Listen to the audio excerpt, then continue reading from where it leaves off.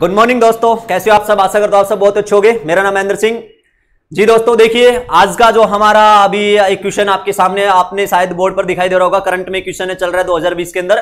Commonwealth Point of Light पुरस्कार। Commonwealth Point of Light prize यानी कि शायद आपने सुना भी होगा ये। Commonwealth Point of Light prize ये एक पुरस्कार का नाम है। इंटरनेशनल प्राइज है, लेकिन करंट में 2020 में हमारे हिंदुस्तानी व्यक्ति को दिया जा चुका है। तो Commonwealth Point of Light prize ठीक है 2020 में किसे दिया गया करंट में है। तो हम थोड़ा सा इसके बारे में डिस्कस करेंगे अपने इस क्लास के अंदर। तो देखिएगा, आपको कोई भी डाउट हो तो आप लोग अपना क्वेश्चन भी पूछ सकते हो कमेंट कर सकते हो, ठीक है? लेकिन टॉपिक शुरू करने से पहले मैं आपको कहूँगा, जिन्होंने भी हमारा चैनल सब्सक्राइब नहीं कर रखा है तो प्लीज़ आप सभी चैनल को सब्सक्राइब कर देना और बेल आइकन को दबा देना, क्योंकि आने वाली जो भी वीडियो में लेके आऊँगा, उसका नोटिफिकेशन आपको मिल जाए, जिससे कि आप लोग आराम से अपनी नॉलेज बना सको। और अगर वीडियो आपको अच्छी लगे तो लाइक करना कमेंट करना और ज़्यादा से ज़्यादा वीडियो को शेयर करना। तो देखिएगा कॉमनवेल्थ पॉइंट ऑफ़ लाइट पुरस्कार 2020 के अंदर हाल में दिया गया Commonwealth Commonwealth Point of prize या कॉमनवेल्थ लाइट जो पुरस्कार है कॉमनवेल्थ पॉइंट ऑफ़ लाइट पुरस्कार। तो क्या है ये पुरस्कार? इसकी सारी डिटेल हमें थोड़ा सा कवर करना है। देखो कॉमनवेल्थ पॉइंट ऑफ़ लाइट पुरस्कार 2020 में यह हमारे हिंदुस्तानी व्यक्ति को दिया गया है। तो आपके करंट अफेयर्स के अंदर एक सिंपल सा क्वेश्चन है, आपके एग्ज़ाम आ सकते हैं कि किसे दिया गया है। तो मैं आपके सामने उसका नाम लिख रहा हूँ, आप लोग समझना, नाम है उनका जाधव पाएंग। ये जाधव पायेंग नाम के एक व्यक्ति है, जाधव पायेंग नाम की एक पर्सनैलिटी मैंने यहाँ पे यूज़ किया है। तो 2020 में जाधव पाएंग जी को इस पुरस्कार से सम्मानित किया है जाधव पाएंग जी को। अब ये जाधव पाएंग जी कौन है? ये असम जो स्टेट है, असम, हमारे देश के अंदर जो असम राज्य है, उस असम के रहने वाले है और असम के अंदर इनका जन्म सन 1963 सन उन्नीस ईस्वी के अंदर असम के अंदर जाधव पाएंग जी का जन्म हुआ था। और ये कौन है? ये एक पर्यावरण कार्यकर्ता है। ठीक है?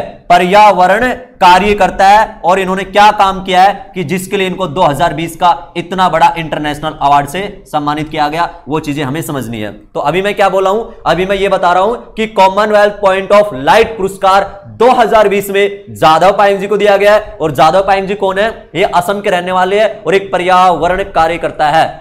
अब देखो, कारण क्या था? क्या काम किया इन्होंने?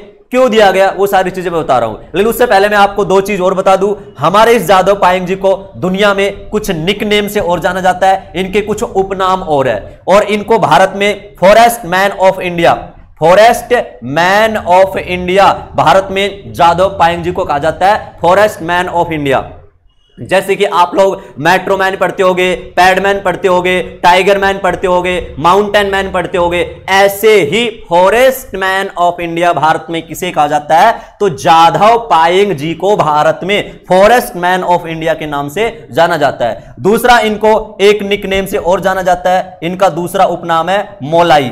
मोलाई, ये इनका एक उपनाम और है, मोलाई जादव पायंग जी को। तो ये तो कुछ मैंने इनकी पर्सनल डिटेल आपको बताई है। अब हमारा जो मेन पॉइंट है कि जी जाधव पायंग जी को ये पुरस्कार क्यों दिया गया? इसके पीछे कारण क्या है? तो देखो जो असम स्टेट है, असम के अंदर आपने सुना होगा एक नदी, ब्रह्मपुत्र नदी प्रवाहित होती है, ज्योग्राफी के अंदर आपने पढ़ा होगा ब्रह्मपुत्र नदी। तो जो ब्रह्मपुत्र नदी है ना, जो ब्रह्मपुत्र नदी है, उस ब्रह्मपुत्र नदी के साइड में, ठीक है, ब्रह्मपुत्र नदी के साइड में ये जाधव पाएंग या असम के अंदर और भी जो अन्य नदियाँ प्रवाहित होती है, उन नदियों के साइड में जाधव पाएंग जी पेड़ पौधे लगाने का कार्य कई साल से कर रहा है। यानी नदियों के साइड में ये काफ़ी साल से पेड़ पौधे का निर्माण कर रहा है, वनों का निर्माण कर रहा है, जिससे कि जीव जंतुओं का आसियाना भी बन रहा है और कई साल से ये अपने इस काम में लगा हुआ है, जिससे काफ़ी जीव जंतुओं का इन्होंने आसियाना बनाया है और काफ़ी वनों का इसने जादव पायंग जी ने निर्माण किया है। तो पर्यावरण के क्षेत्र में इतना महत्वपूर्ण काम ये कर रहा है जादव पायंग जी, ठीक है? कई साल से काम कर रहा है और इनके द्वारा इनके द्वारा जो वन बनाए गए हैं, इनके द्वारा जिन वनों का निर्माण हुआ है यानी जादव पायंग ने जो नदियों के साइड में जो वनों का निर्माण किया है कई साल से तो उन वनों को हम भारत में एक नाम से जानते हैं और वो उनका नाम है मोलाई वन। यानी इनका उपनाम है मोलाई और इनके द्वारा बनाए गए जो वन है, इनके द्वारा जो लगाए गए वन है, उनको हम मोलाई वन के नाम से जानते हैं। तो मोलाई वन किसे कहा जाता है? आप लोग समझ गए होंगे। कई साल से नदियों के साइड में पेड़ पौधे का निर्माण कर रहा है, वनों का निर्माण कर रहा है, जिससे जीव जंतुओं का आसियानी भी बन रहा है और पर्यावरण के लिए भी बेहतर है। ठीक है? तो जाधव पायंग जी कई साल से काम कर रहे थे, इतना इंपॉर्टेंट कार्य कर रहे, कार्य कर रहे हैं तो 2020 में हमारे जादव पायंग जी को कॉमनवेल्थ पॉइंट ऑफ़ लाइट पुरस्कार से सम्मानित किया जा चुका है जादव पायंग जी को। इतना ही नहीं जादव पायंग जी को सन 2015 में जादव पायंग जी को एक एक्स्ट्रा पॉइंट और मैं आपको बताऊँ, सन 2015 में हमारे जादव पायंग जी को भारत का एक सिविलियन अवार्ड आपने सुना होगा पद्म श्री ध्यान रहे पद्म श्री बोल रहा हूँ मैं। तो 2015 में जाधव पायंग जी को पद्म श्री पुरस्कार से भी सम्मानित किया जा चुका है। 2015 में इनको पद्म श्री दिया गया था और 2020 में कॉमनवेल्थ पॉइंट ऑफ़ लाइट पुरस्कार से सम्मानित किया जा चुका है। तो एक सिंपल सा क्वेश्चन था इसका थोड़ा मैंने डिटेल आपको बता दिया है। आशा करता हूँ आपको टॉपिक समझ में आया होगा।